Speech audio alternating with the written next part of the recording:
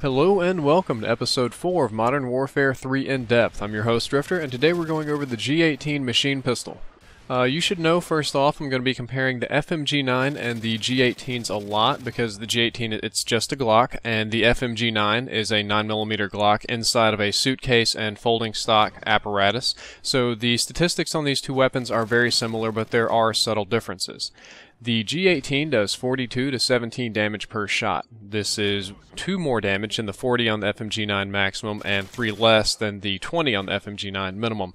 This makes it a 3 shot kill up close, a 6 shot kill at a distance, and 2 headshots up close can also kill. The shots at a distance is 1 less than the 5 shots required to kill by the FMG9.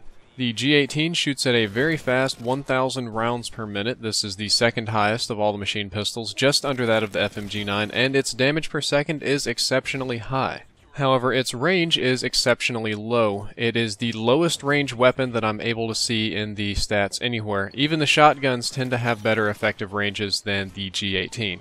The G18 has a very low magazine size at 20 rounds or 30 rounds with extended mags.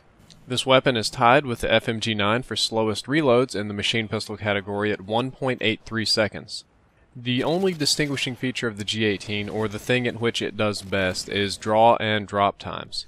You can raise the G18 in 0.55 seconds or drop it in 0.50 seconds. This means you can pull out the G18 faster than any machine pistol. The G18 has very, very extreme recoil. Even though it's statistically very similar to the FMG9, the recoil has always been a lot worse in my experience. The iron sights are more difficult to use, and when hip firing it tends to kick up faster. I believe that this weapon has the worst recoil of any machine pistol. There aren't a lot of good attachments for the G18. If you use a silencer, your already low range will become even lower and it's going to take 6 shots to kill all the time, and 6 out of your 20 is too many, especially when your gun is kicking really hard. The kick and recoil, hipfire, or aim down sights makes it very difficult to hit your target, so the red dot sight doesn't help very much either. In my experience, there really aren't a lot of good attachments for the G18, however the two that seem to work the best, or work at all, are Akimbo and Extended Mags.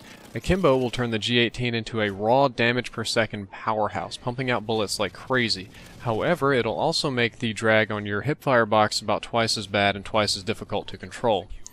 Extended mags makes your magazine size 30 or allows you to spray from the hip twice as long with somewhat less upward recoil. I can also aim down sights with it a little bit just because I have a lot of time to correct, but the aim down sights is still pretty poor.